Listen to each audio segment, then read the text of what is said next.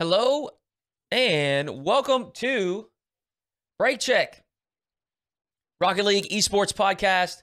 Today we're going to be talking about the North American Winter Split Regional Number One, was also called the X Games Open. So the first thing that we're going to talk about today is closed qualification.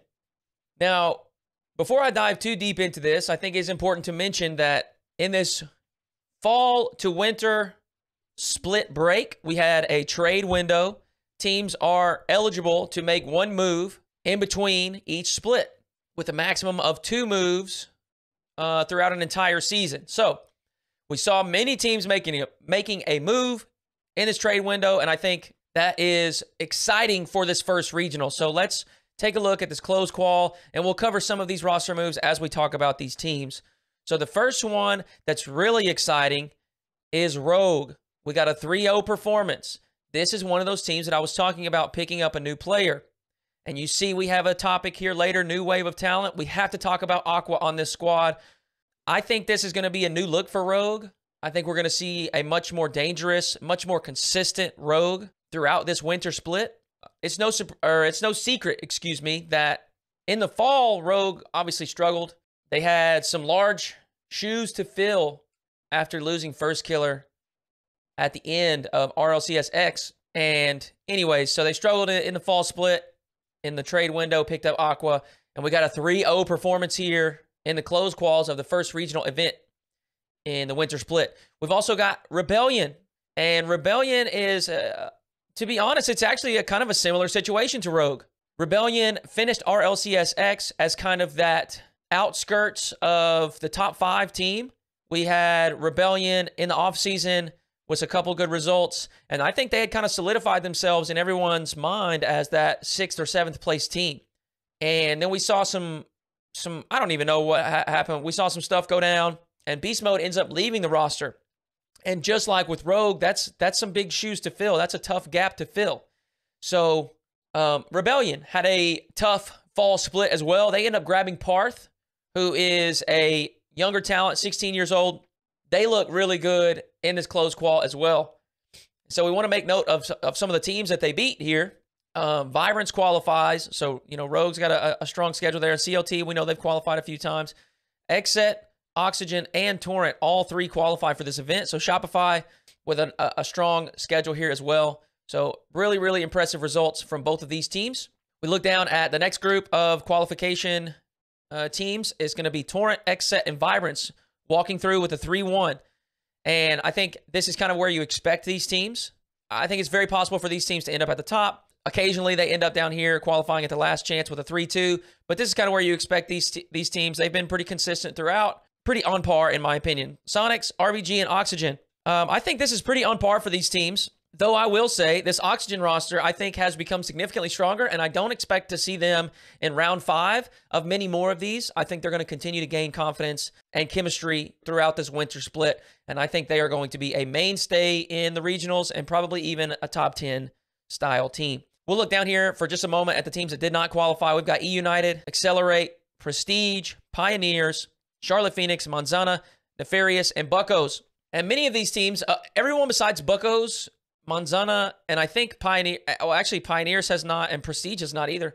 So uh, a few of these teams have not made it into the events at all, but they are pretty regular day three close qual uh, appearances.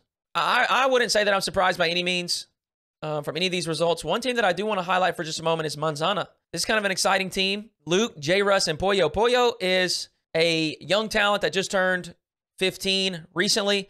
J. Russ is a previous RLCS player, and so is Luke if this team ends up sticking together for a while and, and working on some of the working through some of the issues and whatnot that they may be coming across, I expect that team to be pretty threatening uh, moving forward.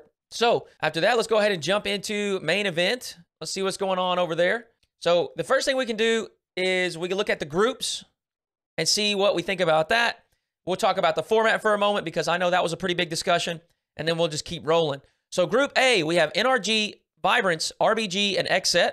Group B was Version 1, Rebellion, G2, and Ghost. Very tough group. Group C, FaZe Clan, Space Station, Rogue, and Torrent. Again, tough group. Group D is Oxygen, Complexity, Sonics, and Team Envy. Now, this was a fairly balanced group, but this thing was like turned on its head. I think Group D was one that not many people predicted it to shake out in this manner. Let's look at the groups and how they unfolded. NRG goes a 3 0, no surprise. Vibrance with a 2 1. This is actually what I predicted. And then I had these two switched. I thought uh, XSET would make it in and not RBG. So a little surprising there, but good for RBG. They bring in Zanil. They have a really great first performance in this event. Group B, V1 and Shopify both have a really good group stage, and they're through to the next uh, the next round. They did have to play a tiebreaker game to figure out who was first seed and second seed, and we'll talk about that because that's the format uh, the format issue. And then we have G2 and Ghost who are tied up one to one, and then they had to play a tiebreaker as well. All right, and so here is we'll, we'll just go ahead and talk about this before we go any further in this group's stuff discussion. If we look at how this unfolded, we have G2 and Rebellion first round, Ghost and V1. Then we have G2 V1, Rebellion Ghost. And then in round three, we have G2 playing against Ghost. And then we have V1 playing against Rebellion. I think a big part of why people were so upset at this format is because this was round three matchups, and then they had to turn around and play again. So if these matchups happened in round one, I think people still would have been a little bit skeptical of it, and they probably would have been vocal about not liking it, but not not as severely, in my opinion. Now, my take on it is I understand that the tiebreakers may seem a little wonky from the outside, and I understand that it may not be like the most fluid way to approach these tournaments, but I do think this holds the most competitive integrity. You know, I was listening to a podcast with Rizzo and a few other pros, and some of them were talking about how when they're in a 1 2 tiebreaker here in the group stage, they would prefer that the team that moves forward is determined by things like game differential or head to head. And I don't think those are bad methods of determining a team that should move forward, but I think a better method of determining what team should move forward is having them play, having them play against each other. Because the reality is, G2 and Ghost had the same performance within their group. Yes, they lost to different teams. Yes, they beat different teams. But they had the same performance of a 1 and 2 record in, in series. So I actually really like the tiebreakers, and I know this unfolded in a really weird manner, really awkward manner, having these teams in round three turn around and again match up directly away eh, eh, or, or directly after um, in this tiebreaker matchup. And I think there's a little bit deeper discussion to be had about it as well. But that's kind of the gist, and that's that's my take on it. I think it's okay. I don't I don't really have too much of an issue with the tiebreakers. We'll look at Group C. We have FaZe Clan, Space Station, Rogue, and Torrent. And this one was a really exciting group, really spicy group because we've got the new FaZe squad with Sypical leaving Space Station, joining FaZe. We've got the new Space Station squad with Daniel, the free agent, highly anticipated. 14 years old, just turned 15 in December. People were ready to watch him play at the highest level. We also have Rogue. Rogue is the team that Firstkiller left in the offseason, and now Rogue also has a young phenom in Aqua. So really exciting group. Torrent, unlucky for them because this is a this is a I mean this is a very competitive group here. Uh, but this was fun to watch. FaZe go 3 0. They had a really, really tight game or series with Space Station that went to game five, was very entertaining. And, anyways, FaZe go 3 0 at the top of the group. And then we come over to Group D and we got Oxygen at the top of the group. Hello. We got Envy at the bottom of the group. What? I, I imagine that no one, or at least very few people, were predicting this to unfold in this manner. This Envy squad is, I think people had high hopes for, or were at least, they were cheering for, is probably what I should say. There's a lot of Dreaz fans. There's a lot of people that don't like how Dreaz was dealt with in the, the, the offseason trade window, G2 stuff. Um, and of course, there's a lot of four time Turbo fans. So a lot of a lot of envy fans out there. And, and again, I I think I don't think many expected this team to be a team that would fall out of groups. Now, they may not be like a top one, top two, top three team, at least at the moment. But I don't think anyone expected this. So this was quite the surprise. Oxygen. You know, I, I am an oxygen advocate, but I didn't expect this. 3 0, that's crazy. They came out and played incredibly. Props to Oxygen, grabbing that one seed, Complexity grabbing the two seed, and then Sonics with the three seed, moving forward into the playoffs. So before we go much further, I do want to take a moment and I want to talk about this new wave of talent I think originally we think new wave of talent. We think, all right, young kids that just turned 15. But that's not it. We also had some weird situations where, like even Beast Mode, right? Beast Mode's a free agent. Aqua's a free agent. Daniel's a free agent. We also have Parth. And I know Parth didn't garner as much attention as some of these names that I just mentioned, but Parth is a, a really high level player as well. We have this new wave of talent finding its way into the RLCS scene in the winter split. And again, I understand that Beast Mode's not new, but he was not present in the fall split, and now he has been inserted into a new team in the winter split. We're just seeing a kind of a, a, a shakeup of kind of the top level of uh, of teams and, and team composition in North America. And I actually think that it has made North America a little bit deeper, at least at the top end. North America has always been very top heavy, and many of the the teams, you know, six and below, don't really take games off the top three or four. But I think it's slowly starting to creep downwards a little bit. I think now at this point, I would say that we confidently have six, maybe even seven teams in North America that are pretty highly competitive. And I think eight, nine, and 10 are on the verge of becoming competitive. A lot of that is due to this insertion of this new wave of talent. So, you know, for example, Oxygen. Oxygen ends up grabbing Gimmick. And I know Gimmick is not a new wave of talent, but Gimmick kind of gets knocked to a team that's a little bit lower tier from V1 because Beast Mode ends up taking that spot. But now that has elevated Oxygen to, Oxygen to a new level. It's also elevated V1. There's just been this new wave, and maybe new is not the correct word, but this wave of talent that has been thrusted into the North American scene. I am very excited to watch this winter split and see how it unfolds. I know we have a lot of people jumping to conclusions after this first event, and you know, my sentiment to those people is going to be slow down, slow down, slow down. Let's see how this plays out over a long period of time. So, with that being said, let's move into playoffs. We'll talk about that for just a moment here. Playoffs is a little bit different situation than normal. We we have this hybrid bracket of like it's double elim, but the only teams that are awarded with double elimination bracket is the top 4 seeds. Excuse me, NRG from group A, Oxygen from group D, version 1 from group B, and FaZe from group C. Coming first in your group actually provides you with a massive benefit. You get an extra loss. We look down here at the lower, and these are the teams that qualified in the second, third, and uh, in the se- excuse me, second and third spots in their groups. So we got Rebellion and RBG, Space Station, Sonics, Vibrance G2, Complexity, Rogue. Rebellion, absolutely just tearing through the tournament. They have they have been talk, uh, they have been playing very well. They played well in closed. They played well in groups. They almost topped their group. They ended up losing the tiebreaker to V1. And then they played really well here against RBG. Space Station ends up taking down Sonics fairly easily. Vibrance and G2 actually go to game five. And with the way G2 is performing, I'm not too surprised. Vibrance is a great team.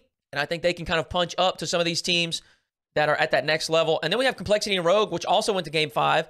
And I think Complexity played a little bit cleaner of a game, but Rogue was right there with them. we go to lower round two. We got Rebellion getting 3 0'd by Space Station. I don't think it's surprising, uh, but it is sad to see after Rebellion performed so well at the rest of the event, but they ran into a hot Space Station. This Space Station team was looking really, really good. We look at their run through the lower bracket, and it's just super impressive. And then Complexity, just 3 0 sweep, or excuse me, um, G2 3 0 sweep Complexity. So we move forward. V1 falls from upper semis to lowers. And then we have Oxygen getting 4 0'd as well, falls to lower quarterfinals. Oxygen gets 4 1 by Space Station. Again, very hot team right uh, through the lower bracket right now. And then we got version 1 taking down G2 in game 7. This was a great series right here. Kind of went back and forth. Really enjoyed watching this. I think both version 1 and G2 are nowhere near their final form. Nowhere near it. I think the, both of these teams have a lot of room to grow. And I imagine that with more time and, and um, more practice and just better team chemistry and everything, I think both of these teams are going to be very, very solid. And then we move into lower semis, and we look at this V1 and G2 fight until the end, right? And this is a G2 team that just swept complexity. Space Station just rolling through competition. 3 0 Rebellion, 4 1 Oxygen, 4 0 version 1. And then they don't stop there. They go through in 4 2 FaZe, who they had already lost to in groups. Space Station with Daniel is just, they are, it's a pleasure to watch. It's a pleasure to watch. And I don't know if you all have listened to the comms videos that Retals has released. If you have not, you need to. Very high energy, very excited. And this is something that we talked about a little bit in this offseason trade window. There are things that a player can bring to the team that does not show up on stat sheets. And I think sometimes that is more important than what you bring on stat sheets. And Space Station just felt like a team that was kind of stale. They felt like a team that, I don't know if complacent is the right word, but they just felt uninspired. And then with Sypical deciding to leave the team and join FaZe, we have a new opportunity with Daniel. And it seems as though he has brought a new fire to the Space Station team. Now, we want to talk one more time about this format. NRG makes it to the grand final, and they still have a loss to give, right? They came through with uppers. They haven't lost. They haven't lost. They haven't lost yet. So for Space Station to win this event, they would actually have to beat NRG two times, where NRG actually only has to win one time. So coming from the upper side, massive advantage in this format.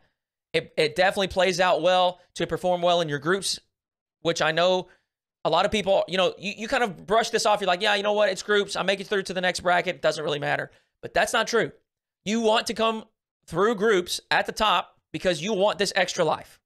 You want this extra life. Anyways, we make it to this final. NRG plays very well against Space Station, a 4 2 score line. But in my opinion, Space Station got to take this as this is a this is a win. Okay. I know they didn't win the tournament, and that's not what I mean, but this is a dub for them. They come into this tournament, they get knocked around a little bit in groups, right? They, they get popped around a little bit in groups, end up losing to uh, FaZe. It was a good game, but they end up losing. And then they go to lowers where, uh, where look, when you're in lowers, there's just it's just a new it's a new level of pressure. When you're in groups, you know you play your three games and you know that's you move forward, right? That's what it is. When you go to the lowers in the playoff bracket, you lose your you you're you're gone, right? It's a new level of pressure. And so we see a a new team with a new player. Daniel, y'all remember this is first RLCS event, and they go clapping through lowers. One, two, three, four, five. Five straight games of just smacking people left and right. This, this right here, I'm telling you, this is huge. This is big time for their mentality. This is big time for their confidence. And I think this is going to give them a lot of momentum rolling forward, even with a loss in the finals. So I'm super excited to see that Space Station squad continue to perform. The last thing, and certainly not least, maybe the most exciting, I want to talk about winter points. Winter points, okay? Let's look at winter points here because we do need to talk about this for just a moment. This is something that I've been confused about at times, and so I just want to mention it. Winter points for the winter major are the only thing that matters, okay? Fall points, fall major points are, are, are not what's going to qualify you into the winter major right? So your performance throughout this split is what will qualify you to the major. And that's how it should be. That's how it should be, right? So right now, after the regional number one, X Games Open, we've got NRG in first place, taking home 351 points. I'm going to look at Winter Regional 1 because total points actually adds in Winter Regional 2, which we have not seen yet. Now, the top eight teams are guaranteed at least 60 points because even if you finish last place in the regional, you will gain 60 points like Envy or Ghost, right? They were eliminated in groups. But we're going to ignore that for now, okay? We're going to ignore that for right now. So what we're going to look at is we're going to look at just Winter Regional 1. And NRG is in the lead with 351 points. We got Space Station in second, 300. FaZe in third with 260. V1 in fourth with 220. And then we actually have Oxygen in fifth with 190. So I, that's why I said I wanted to look at this column right here because this is what's actually going to determine our top five at the moment. But provided provided uh, this is only going to be Oxygen is only going to hold this spot provided they qualify into the next event. We'll see how this plays out. I think right now we've got.